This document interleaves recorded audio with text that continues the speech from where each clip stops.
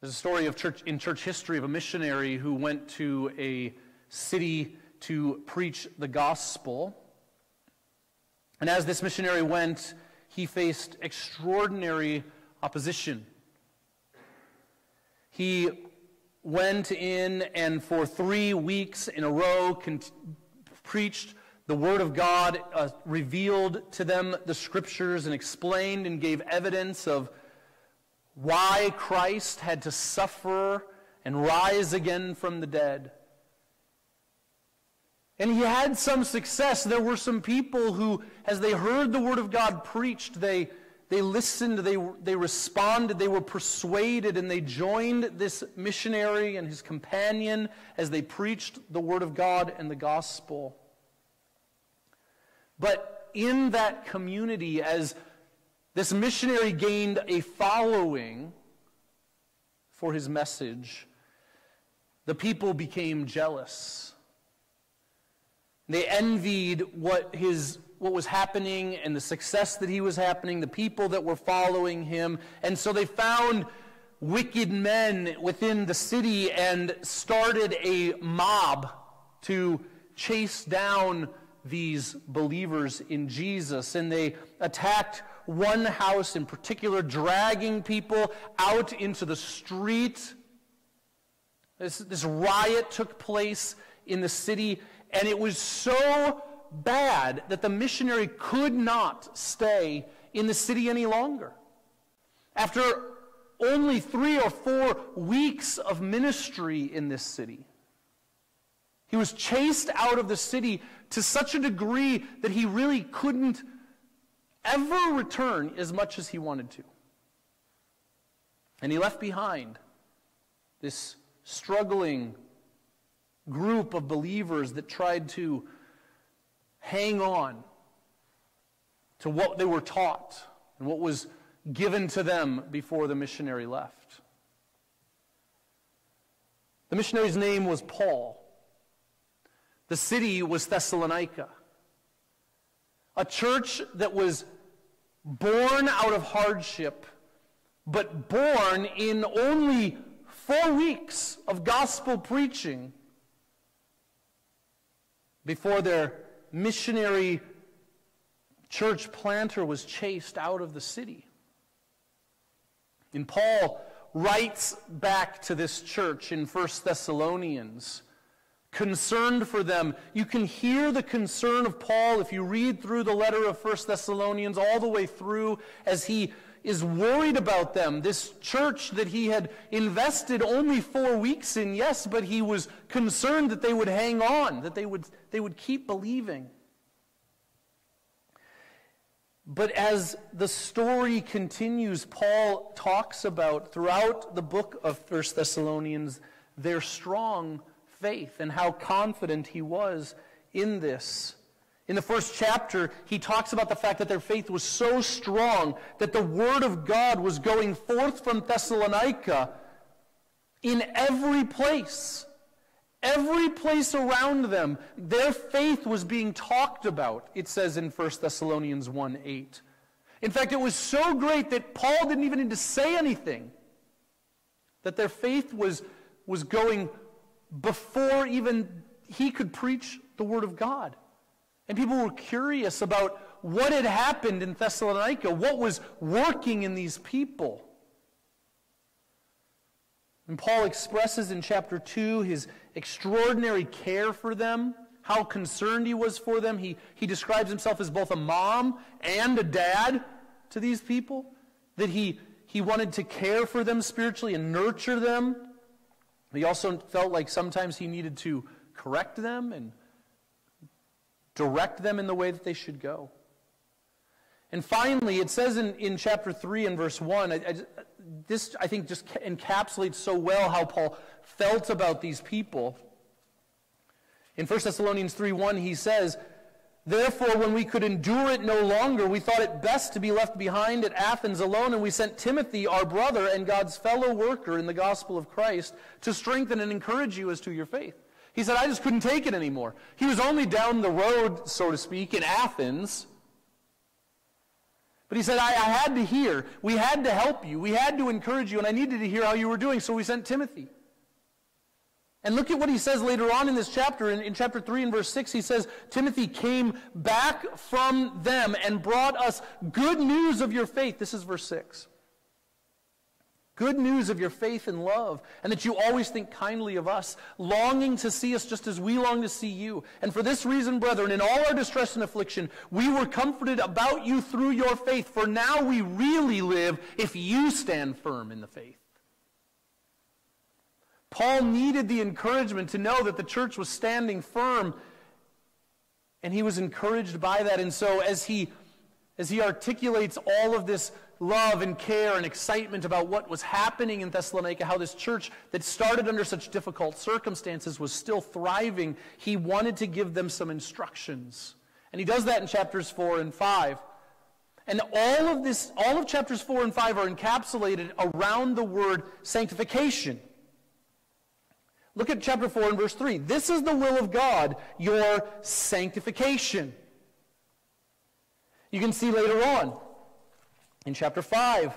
In fact, the passage that we're talking about this morning in verse 23. You may the God of peace himself sanctify you entirely.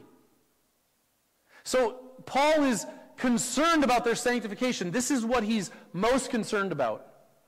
And sanctification, just to, I'm going to talk about this a little bit more in a moment, but sanctification, as Paul is using it here, I believe, is all of their salvation. He's talking about the entirety of their salvation.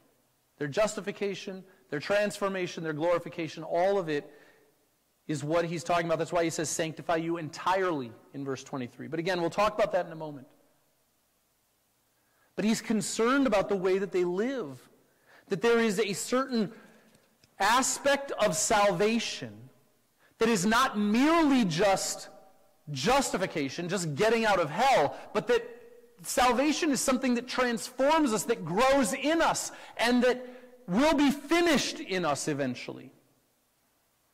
And so he talks about some issues that were on his mind in particular in regards to their sanctification. One is their sexual purity. He talks about the fact that they that God has not called us for the purpose of impurity, but in sanctification, chapter 4 and verse 7.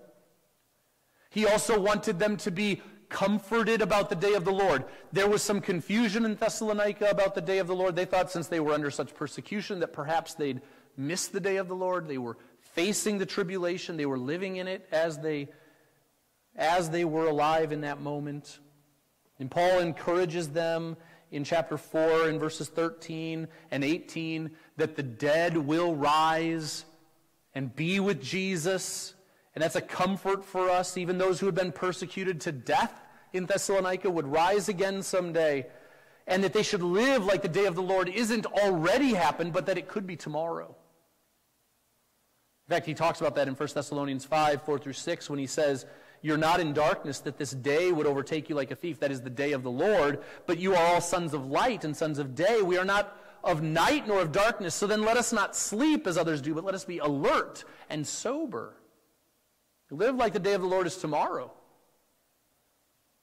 And this is because God has destined us for this salvation, this whole salvation that He's working in us. 1 Thessalonians 5 9 through 11. The verses that precede the passage we're looking at today. He says, God has not destined us for wrath but for obtaining salvation through our Lord Jesus Christ, who died for us, so that whether we are awake or asleep, we will live together with him. Therefore, encourage one another and build one another up, just as you also are doing.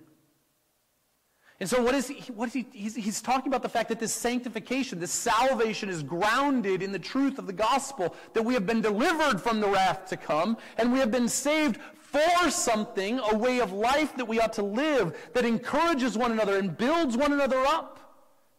And it doesn't matter whether we are living, awake, he says, or dead, asleep, we will live together with him because God has not destined us for wrath, but for life in salvation. And this is all possible because of the cross of Jesus Christ. Jesus Christ took the penalty for our sin. He already bore the wrath of God. And so the church doesn't have to endure God's wrath. The church is delivered from God's wrath.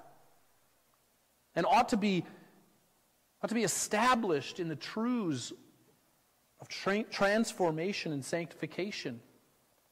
And what this does is it just it, it, lays the foundation for what is to come. When he says in verse 11, therefore, encourage one another and build one another up, just as you are also doing. That one another word, whenever you see one another in the scriptures, your mind automatically ought to go to the church. That's what he's referring to. Encourage the church, build up the church. And this idea continues on. Later on in in the passage that we just read. He talks about live, it, live in peace with one another. More specifically, that word that we translate one another more frequently is seen in verse 15 seek after that which is good for one another and for all people. And so, as Paul is driving to this point, he's saying, listen, the church is designed for something specific. It is designed to sanctify us completely. So as he gets to verse 23 and he, and he lays out for us this prayer that God would sanctify the people of Thessalonica, the Christians in Thessalonica completely, what, he, what he's trying to establish is that this happens through the church. God is using the church to sanctify us completely. He's, he's driven at all of this one another language. He's going to talk about leaders as well early on here. And this is a letter to a church, not to an individual, but to a church. So God is using the church to sanctify us completely. And I just want to emphasize again this idea of complete sanctification. So, what is he talking about when he says, Now may the God of peace sanctify you entirely, and may your spirit, soul, and body be preserved complete? You see this, these words of complete and entire in here. Why does he talk about it like that? It's because we are already saved to one degree. Right? We have been declared righteous through the blood of Jesus Christ, justified, delivered, saved, if you will, from the penalty of sin. But there is more to salvation than just salvation from the penalty of sin. The salvation that we have in Christ is also salvation from the power of sin in our lives. And so this is an ongoing process. We often conflate the idea of sanctification with transformation, and I don't think that that's a problem, a huge problem, but I have tried in my language to be more precise and refer to it as our transformation as opposed to our sanctification, because I think when the Bible talks about sanctification, it's referring to this whole concept justification, salvation from sin's penalty, transformation, salvation from sin's power, and then ultimately glorification when we are saved from sin's presence. And we're glorified in the presence of God. And so Paul is talking about this entirety. He doesn't want them only justified, he wants them transformed. And he wants them to achieve that glorification someday when they are raised from the dead, as he talks about in chapter 4. And you can have this salvation. This is for people, real people, flesh and blood, just like you and me, that God can save even you. No matter what your trouble is, no matter what your sin is, you think it's too much for God. But God can sanctify you entirely. He can preserve your spirit, soul, and body completely. That you can be without blame at the coming of Jesus Christ. Imagine this. But this is what the gospel teaches us that the gospel is not only about getting out of hell, but about transforming the way that we think and live until we achieve the glorification that we have been called to and saved for. And so Paul outlines for us here four church directed actions that aid our sanctification. How is it that the church sanctifies us completely? Well, it's when we submit to these four church directed actions that our sanctification can be aided, our complete sanctification can be aided. And the first is to appreciate word led teachers, or you could say word taught leaders. So I think that both of these ideas are in here. That, that these, these are word led teachers and word taught leaders in verses 12 and 13. We request of you, brethren, that you appreciate those who diligently labor among you and have charge over you in the Lord and give you instruction, and that you esteem them very highly in love because of their work.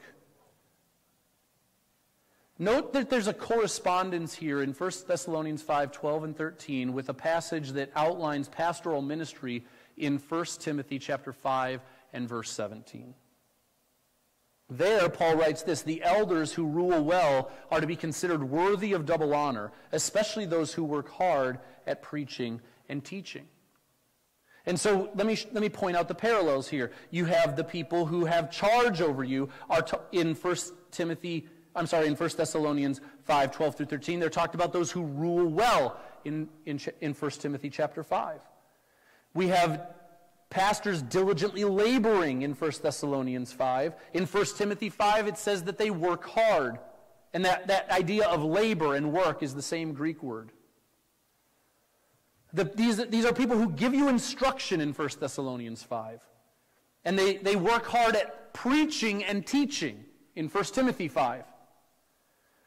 In 1 Thessalonians 5, we are supposed to appreciate or esteem them very highly. In, chapter, in 1 Timothy 5, we are told to consider them worthy of double honor. And, and we just need to recognize that when it talks about elders in 1 Timothy 5.17, it's talking about pastors. Elder is not a special, separate office from pastor in the church, but pastors are elders, elders are pastors, and they're also referred to as overseers in the scripture. The clearest point where this is all brought together is in Acts chapter 20, in verses 17 through 28. I'm not going to read all of it, but in Acts chapter 20, and verse 17, Paul meets with the elders of Ephesus.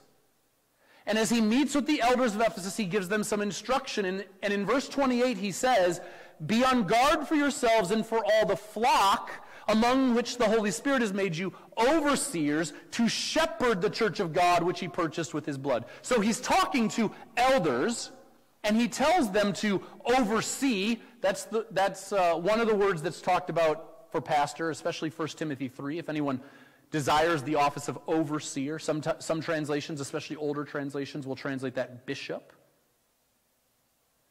So there's an overseer, but there's also a shepherd.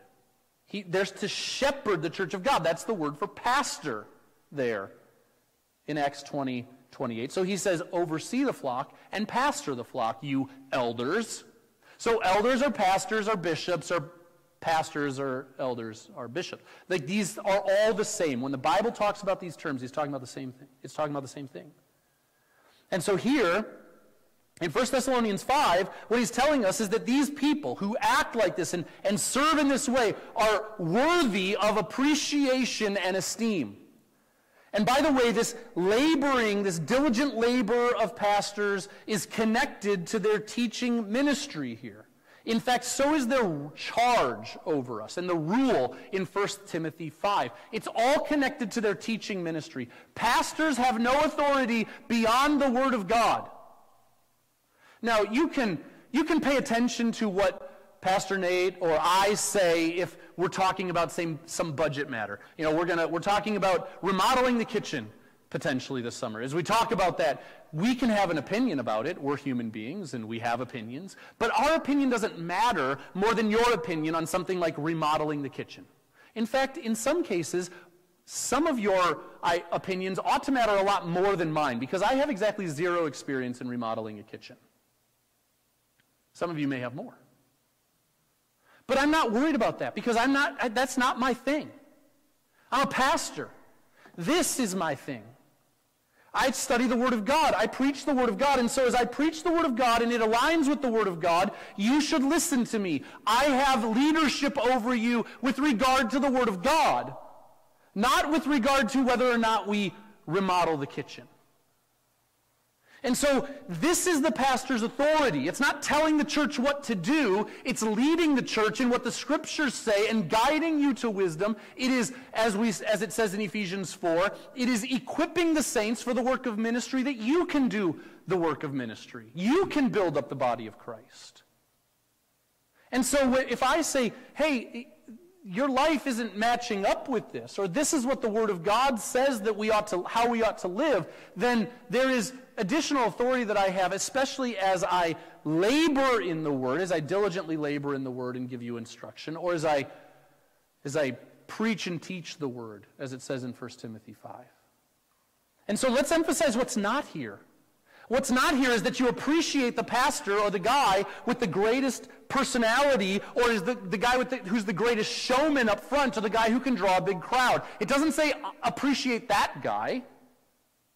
It doesn't say appreciate those who know the 21 irrefutable laws of leadership and, and, execute them efficiently and effectively. It doesn't say appreciate those who water down the word and soften the word's edges. Sometimes pastors have to say what stings a little. It doesn't say appreciate those who have no character.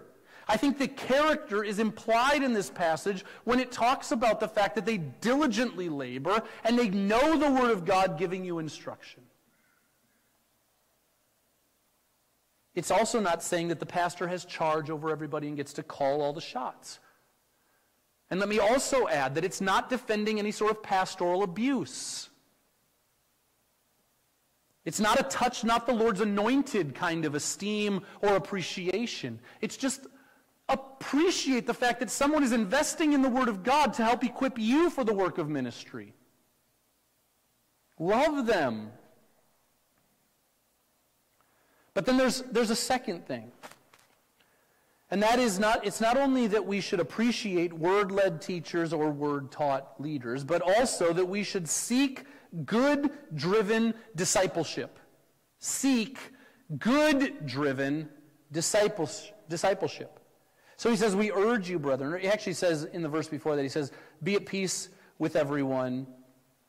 We urge you, brethren, admonish the unruly, encourage the faint hearted, help the weak, be patient with everyone. See that no one repays another evil for evil, but always seek after that which is good for one another and for all people. So, what are we after here in this passage? We're after good good for people, good for each other. And this is what we're driving at. This is what the church is for. It is for the good of the flock, it is for the good of the people of God. And we're supposed to pursue that good in each other. So you have a responsibility within the church of Jesus Christ to pursue the good in all of the other people who are part of the church.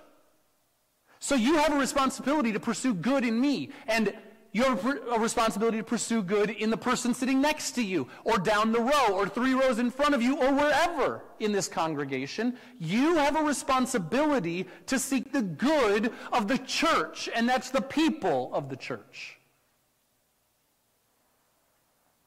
And the only way we can do that is if we have a formal commitment to each other. And so I'm not going to wax eloquent on membership, but I think that this sort of demands that we know who's in and who's out.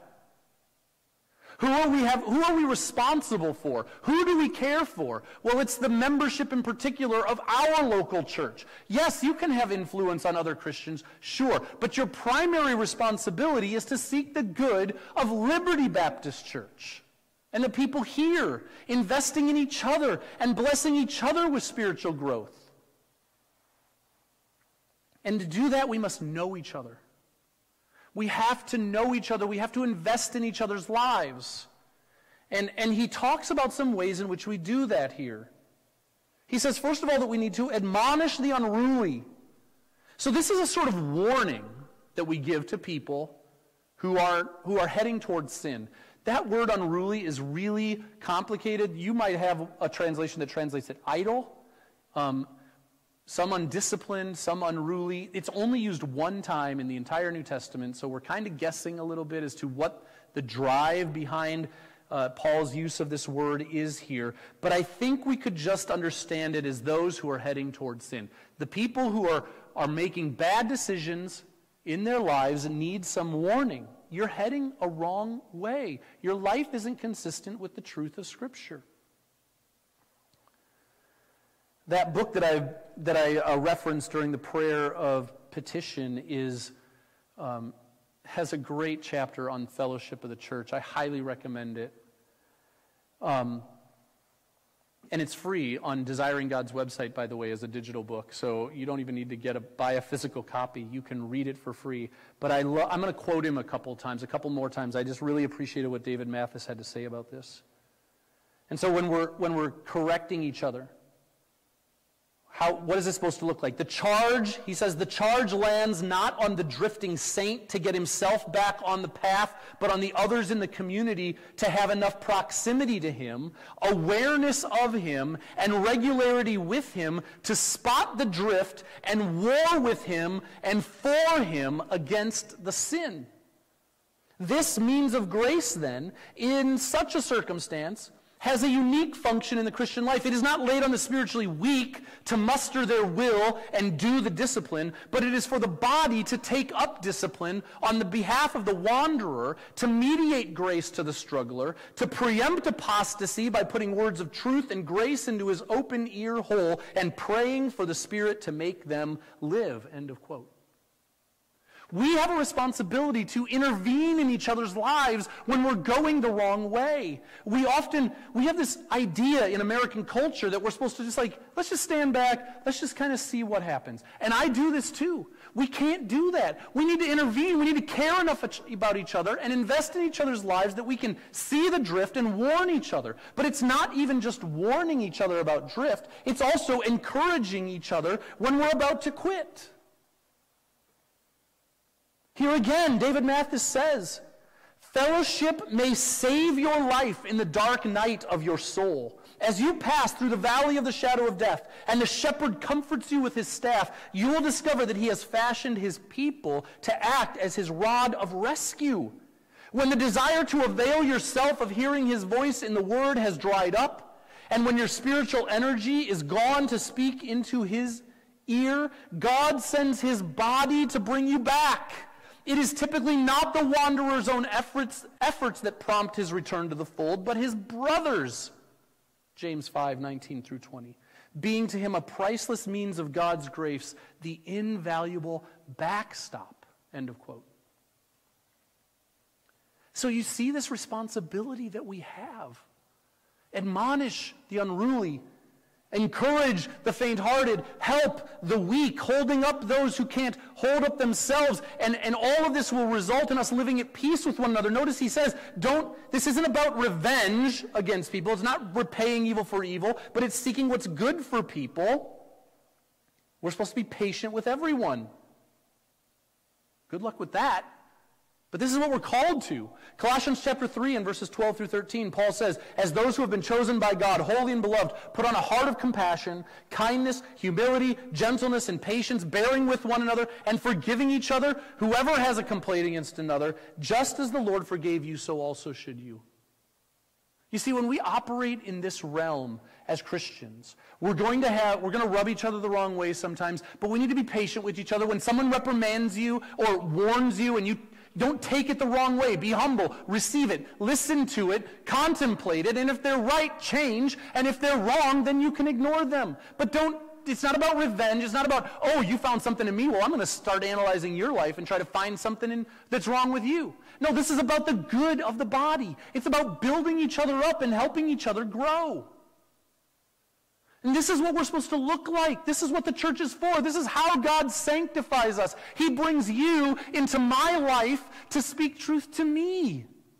And He brings me into your life to speak truth to you so that you can be like Jesus. But we have to know each other. We have to invest in each other. We have to spend time together. And we have to be willing to say the hard things sometimes. Or even sometimes just say the easy thing. Like, the Bible is true, the gospel is real, and God loves you to somebody who's about to quit.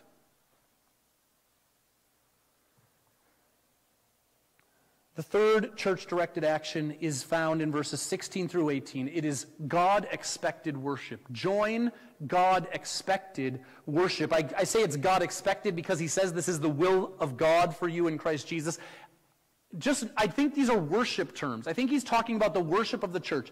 Invest in the worship of the church. Join it. Be a part of it. When he says rejoice always, pray without ceasing, in everything gives thanks. This is God's will for you in Christ Jesus. He's talking about the worship of the church. This is not, I know we apply this to our individual lives, and it's good for us to do that. You should rejoice in your life. You should pray often in your life. You should you should give thanks often in your life. All of these things should mark us all the time in our lives. But I think he's particularly talking about the gathering of the church here. And by the way, This just struck me last night as I was preparing for this that this kind of follows the outline for our worship service. Praise God, rejoice always. Prayer, pray without ceasing. Do we pray enough in our service? We, pray, we have like five public prayers in our worship services. And give thanks to God. We have a time of thanksgiving in our worship services. This is like that. We follow this outline that Paul is outlining for us here. And then we end it with revelation, the preaching of the Word of God, looking at the truth of Scripture. And by the way, Paul's going to get to that in a moment. I just didn't include it with the join God expected worship. But notice as well what's interesting about all of these verses. Always, without ceasing, in everything. You see how all encompassing this is supposed to be? This is supposed to be what marks us as a church that we are worshiping together. We are praising God, we are praying to God, and we are thanking God, and we are hearing His word. This is the, these are the things that we ought to mark us as the people of God when we worship together. Join with the church in worship. It is an indispensable part of who we are as the church and the sanctification that God is trying to work in us. And that leads into the revelation part which is the very last of our church directed actions, that we obey spirit inspired revelation. That we obey spirit inspired revelation. So, he's, so he ends with this do not quench the spirit, do not despise prophetic utterances, but examine everything carefully, hold fast to which is, that which is good, abstain from every form of evil. Now, I think he's just talking about the Word of God here for us. You got to understand, though, in the first century, they didn't have a Bible. They needed prophets. They had prophets who spoke in the church, and they would give what the word, they would speak the words of God in the church. And then pastors would teach based on the revelation of God that was given. And one commentator pointed out that what Paul is telling them to do here is as they listen to the prophets, they should avoid cynicism. So don't quench the spirit and don't despise prophetic utterances. He's saying listen, God is revealing himself. Believe that he's doing so and listen to him as he does. Don't be a skeptic about everything. Don't assume that every prophet is up there just trying to make a name for themselves or trying to, uh, trying to be oppressive in your life. But then also avoid being gullible so you, you avoid cynicism, avoid being, avoid overly questioning everything, but also avoid being gullible. You've got to also examine everything carefully and hold to what is good and abstain from evil.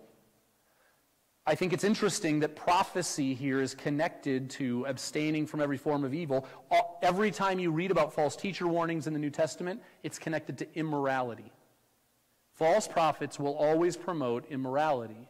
And so Paul's saying, don't get duped by the people who are saying, oh, it's okay for you to live your life any old way you want. That's a false prophet.